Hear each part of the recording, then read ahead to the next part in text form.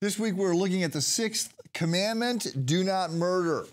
And yesterday uh, we left off with the distinction between killing and murdering. Today I want to establish why murdering is wrong. Two big reasons. Number one, because uh, for us to murder someone is to take their life away, and their life does not belong to us, it belongs to God. Murder is wrong because we don't own what we are destroying. And uh, as a matter of fact, I would go a little bit further than that in saying they don't own what they what is being destroyed either. This is part of the reason why I think suicide is wrong. Now, let me just say, I am not uh, among those who think that suicide is an unforgivable sin. That's something that gets developed um, principally in the Catholic Church that makes a distinction between mortal and venial sins. And mortal sins are so bad that they, you have to confess to be forgiven. I, I don't think that that's true. As I've said before, I'm not Catholic. Uh, but obviously, the problem with suicide, if it's a mortal sin, is that you're not around to confess that sin after you've killed yourself. And so that's part of the thing. I believe that I don't go there. I believe the grace of God is bigger than all of that. I'm, I'm not arguing that. But I do think there is a point to be made. God owns us. God owns everything everywhere, including us. He has not given up any rights to any of the things that He created. As a matter of fact, if you are a Christ follower, God owns you twice because first time He gave you life, and then secondly, He bought it back through the penalty, through the payment of the death of His Son.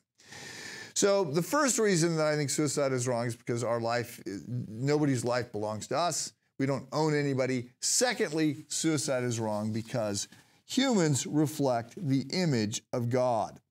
In Genesis chapter 1, we're told that God made us male and female in his image, the imago Dei.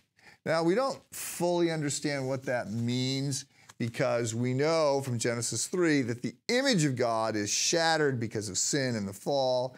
And so we're not always certain exactly what we mean when we say that that person has the image of God.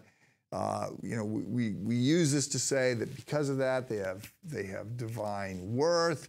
We use that to say sometimes it's, it's, it's, our, uh, it's our moral compass or it's our creativity. Or I mean, you'll have people saying that the image of God, sense of humor, lots, lots of different people have lots of different ideas.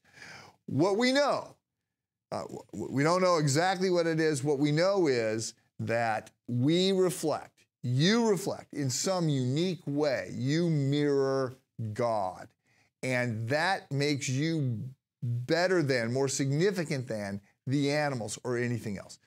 Psalm 19, we're told that the heavens declare the glory of God. There's a sense in which creation mirrors God's glory. And that's it's absolutely right. But there's a sense beyond that in which humans mirror and reflect God's glory. So, murder is wrong because human life does not belong um, to us, it belongs to God. And it's also wrong because humans are made in his image. These ideas are declared in the Old Testament. They're further developed in the New Testament, and we will turn there tomorrow. Have a good day.